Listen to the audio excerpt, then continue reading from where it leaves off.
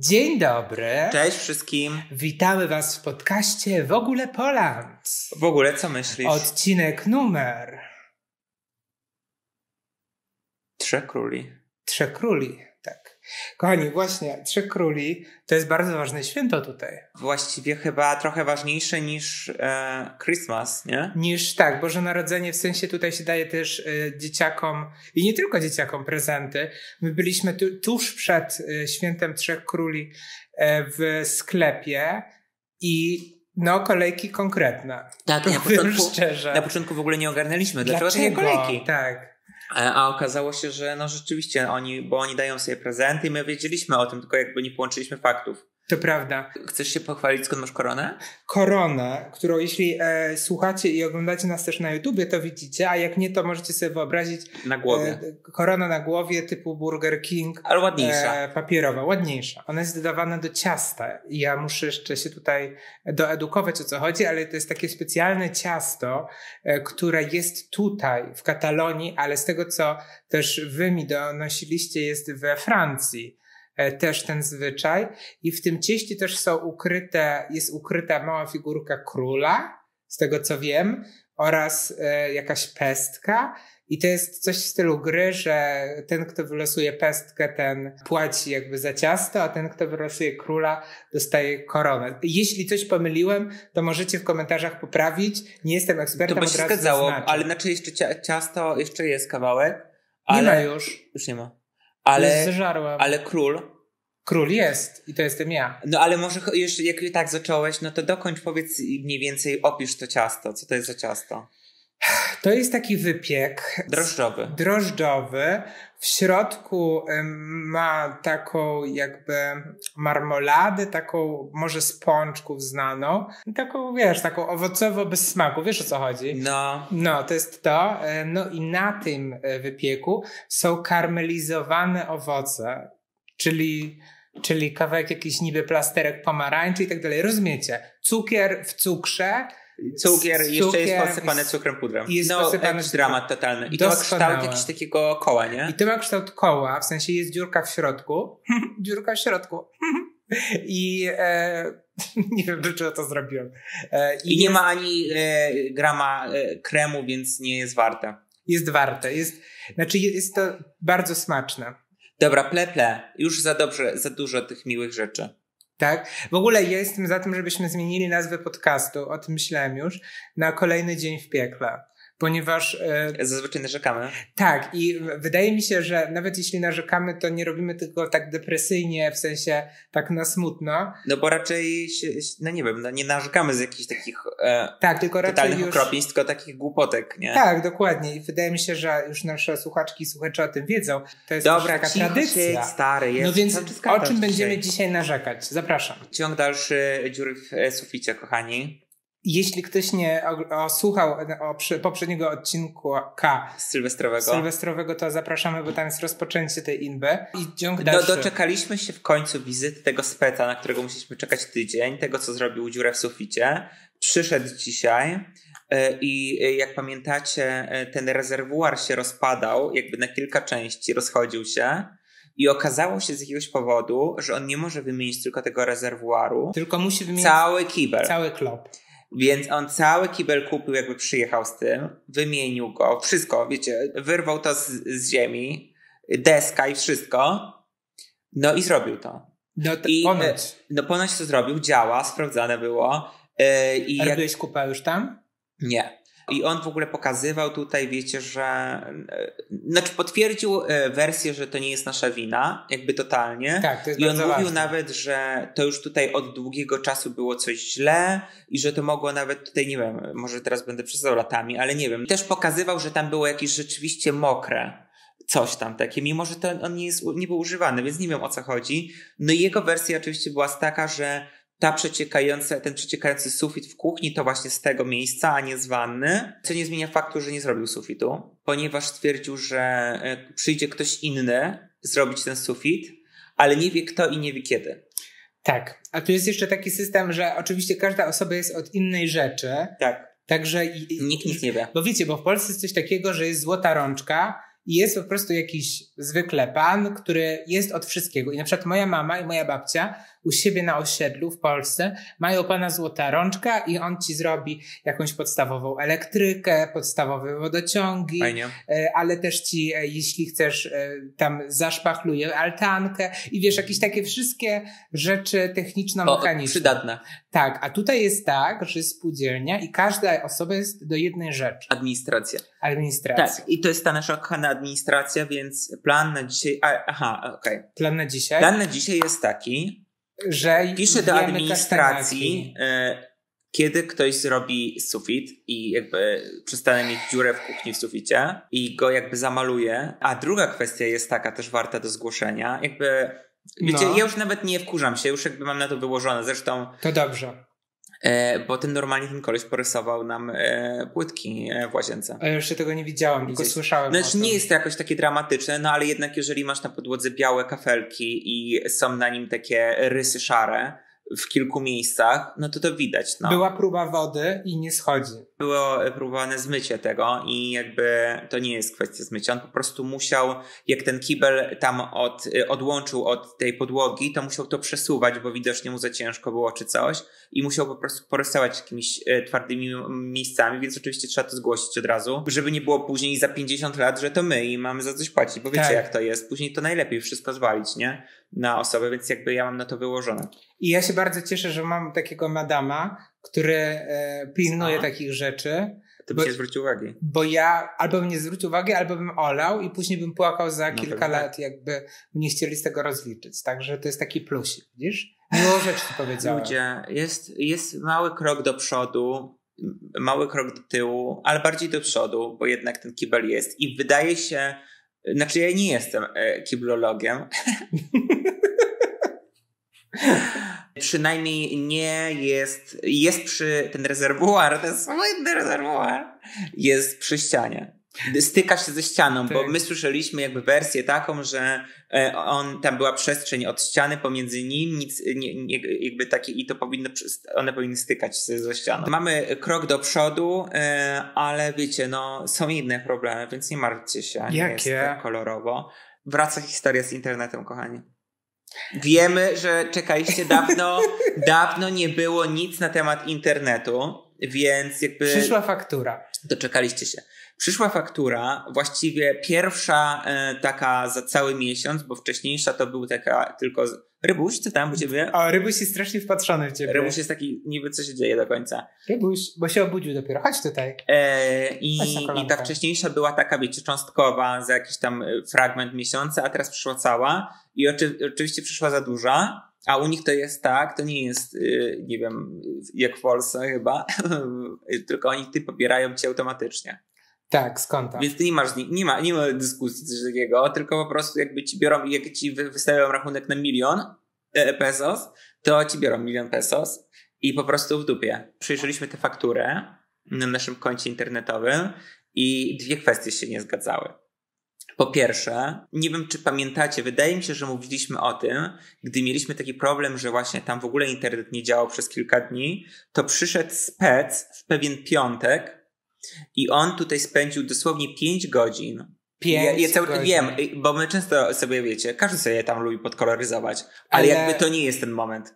On naprawdę stał tutaj Tak. 5 godzin na środku salonu. Jeżeli ktoś ogląda, to właśnie to jest to miejsce tutaj, stał dosłownie Za nami. i, tak. po- i, i tak i dzwonił stał, dzwonił gdzieś do kogoś. patrzył i on nie naprawił tego wtedy, wiecie o tym? I on w końcu powiedział, że jakby wychodzi. Dobra, do brzegu. Przyszła faktura. Przyszła faktura, że mamy zapłacić, że jest 25 euro za ten dzień e, za naprawę techniczną. Tak. I on nawet nie naprawił tego jeszcze, rozumiecie? Nie tylko, że to było z ich winy, my byliśmy tydzień bez internetu, za który płaciliśmy. On przyszedł, spędził tej 5 godzin, nie naprawił tego, bo dopiero następny koleś dwa dni później to naprawił, czy trzy dni później. I oni jeszcze naliczyli nam 25 euro za to. Także to jest pierwsza rzecz, a druga, da, zaliczyli nam e, dodatkowe kanały. Nie, oni nam, to, to też jest, uwielbiam tę fakturę, bo e, tam jest rozbite. Jesteś fanem tej faktury? Uwielbiam ją. Ja dobrze bardzo pamiętam wszystkie takie kwestie szczegółowe, gdy ktoś może mnie naciągnąć, bo to sprawdzam. I my mieliśmy w pakiecie za darmo e, HBO, Espania i e, Amazona Prima. Prawda? tam jest na fakturze e, jakby e, wiersz Amazon, wiersz HBO Espania i jest 0 euro, 0 euro, po czym jest niżej serial Lovers, czy Series Lovers i jest chyba tam, nie wiem, 20 też, czy 25, nie wiem, już nie pamiętam ile, ale jakieś kilkadziesiąt e, euro. I ja tak sprawdziłem, co to jest te Series Lovers i to jest pakiet, pakiet, który ma Amazona i HBO. Czyli policzyli nam dwa razy za jedną rzecz. Nie, bo w tamte policzyli 0 euro. Nie słuchasz mnie w ogóle, co ja mówię? No bo strasznie to jest skomplikowane. No to, nie, no to widzisz, no przykro mi. Nie, ludzie nie muszą sobie e, testu. robić notatki. E, więc ogólnie e, właściwie e, i tak nam e, w jednym miejscu nie naliczyli, ale w drugim miejscu naliczyli za to samo. Więc nie wiemy o co chodzi w ogóle. Całe szczęście mogliśmy to e, zepchnąć na kogoś, żeby napisał za nas reklamację. Ponieważ jak pamiętać, ktoś um, biedny wziął za nas tę umowę, bo jeszcze wtedy nie mieliśmy numeru nie. Tak, robiliśmy kogoś. No ale co no mogę poradzić? No trzeba sobie radzić jakoś w życiu. Oczywiście. Więc e, i bierzcie przykład, no jakby. E, Zawsze umowę na kogoś. Tak, to ma być załatwione, nie obchodzimy jak. To ma Oczywiście. być zrobione i ja nie będę za to płacił. Mimo, tak? że ściągnęli z konta, więc już zapłaciłeś. Co szczęście nie z mojego konta. Więc wiecie, jak to jest. No tak to leci, no po prostu, no co mogę wam powiedzieć, no. Ludzie teraz pomyślą, że wiesz, że jesteśmy jakimiś... Że Naciągacza... O Boże, jak Ed Górniak powiedziała. Że tak, jak ona to powiedziała? Yy... Że nie oszuści, manipulatorzy? Nie, nie. nie. Yy, a nie naciągacze jakieś? Naciągacze może, że naciąga ludzi.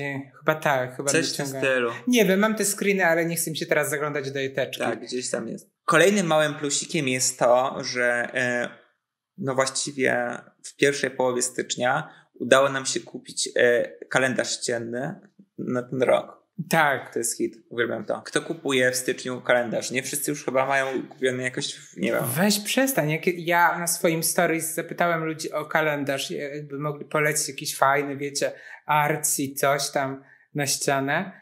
I ludzie zaczęli mi pisać, i to były takie ze dwie, trzy osoby, no. że, że oni kupują w kwietniu kalendarze, bo są wtedy przecenione 70%. Hmm. Znaczy, wiecie co powiem? Znaczy, to ma Nie sens. zrobiło to wrażenie, a ja wiem, że lubisz oszczędzać. Nie, lubię. I to ma sens, ale muszę wam powiedzieć, że. Znaczy, ja w ogóle nie jestem fanem takich kalendarzy jakichś ściennych. Dla mnie to jest takie trochę e, mamciowe. Mieliśmy wcześniej kalendarz który kupiliśmy sobie, bo był po prostu śliczny. Byliśmy go w Barcelonie, jak byliśmy. Gdzie e, byliśmy? Jak byliśmy w Barcelonie. E, to ja nie wiem w sumie, czy my go kupiliśmy, czy my go kupiliśmy w zeszłym roku. Chyba w zeszłym roku go kupiliśmy. Tak, w zeszłym roku go kupiliśmy. No w zeszłym. I tam było, ten, tam były jakieś e, koty, jakieś namalowane koty, pamiętasz?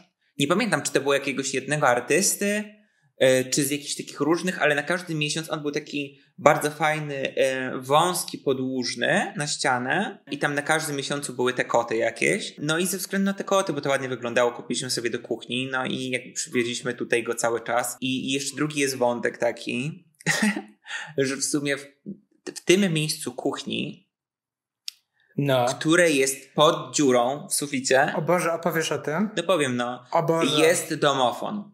Tak.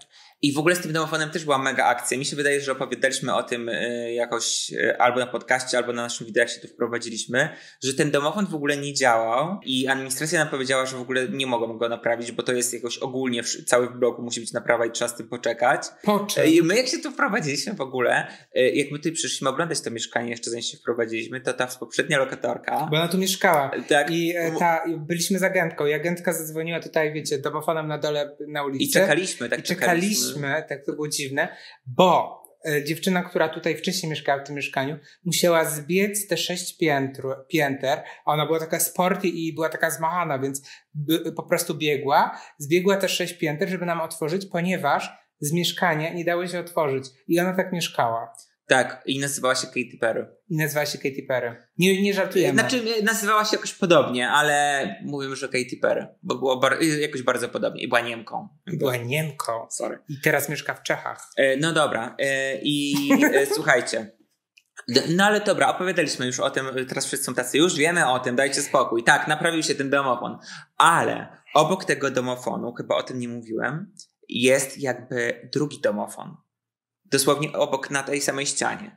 I Ale wiesz, że to nie jest domofon. Wiem, no ja wiem o tym i od początku mówiłem jeszcze tej e, babie z agencji, że to nie jest domofon, tylko to jest telefon stacjonarny, ponieważ jakby e, ma guziki z e, Numerkami, numerkami wiecie. a nie jakiś jeden przycisk do wpuszczenia. A ona była taka, nie, nie, to jest domofon chyba, ja no nie wiem. I najlepsze jest to, że one są tak blisko siebie, że teraz, gdy ten domofon, domofon już działa i ktoś dzwoni i biegniesz podnieść słuchawkę i nacisnąć ten guzik, to oczywiście z rozpędu dotykasz tego telefonu, który nie jest domofonem i za każdym razem ta słuchawka spada. Bo one są od siebie dwa centymetry i nie da rady nie dotknąć po Czajcie to? I ta słuchawka cały czas spada i po prostu i musisz ją łapać. I tutaj Pomyślcie włączyć o tym, jeszcze. że ta słuchawka nam spada i to się dzieje jakieś, wiecie, 8 razy dziennie, tak? No, No bez przesady. teraz ale- koloryzujemy. Tak, teraz koloryzujemy, ale 3-4 razy dziennie i cały czas ona spada po prostu. Cały Więc- czas. To jest tak męczące. Boże, aż mnie dreszcze Tak, przeszły. cichutko. Więc właśnie chciałem jakby, żeby to załatwić, rozwiązać tę sytuację,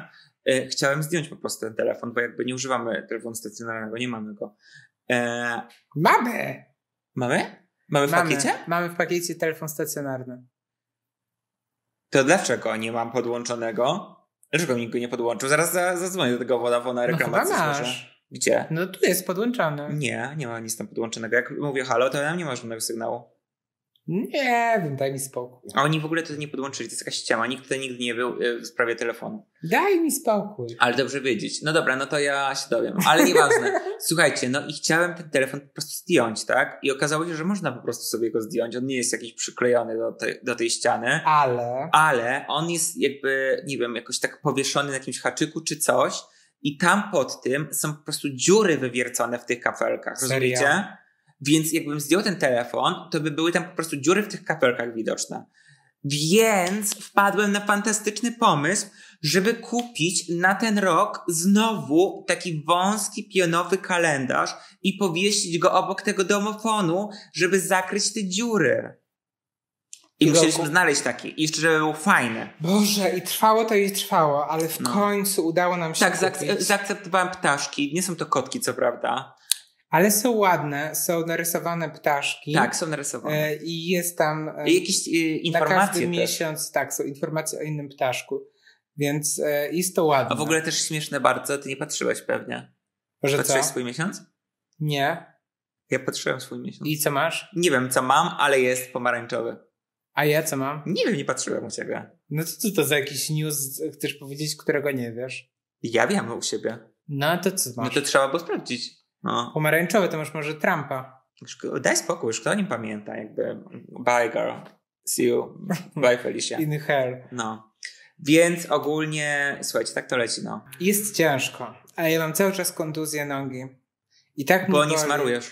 A on zmusza mnie. I o, jest kłótnia o to, żeby chodzić. Nie, Gdy w końcu jest to, się słuchajcie, w mieście, słuchajcie, gdzie można chodzić po ulicy. Słuchajcie, jest kłótnia o to, że mamy do zrobienia na przykład kilka rzeczy dziennie, a on postanawia do każdej z tych rzeczy iść. I to nie jest tak, że idziesz gdzieś 10 minut i dochodzisz, tylko to jest wyprawa, że idziesz w jedną stronę 40-50 minut. Ale kłamstwa, teraz jest takie koloryzowanie Oczywiście, mas. że tak. Ile szliśmy, żeby tam od kalendarza 17 minut pokazywałem Adam, ale to była najkrótsza droga, ale mówię o tym pierwszym A to, żeby wyjściu. kwiaty? No. Słuchajcie, dobra.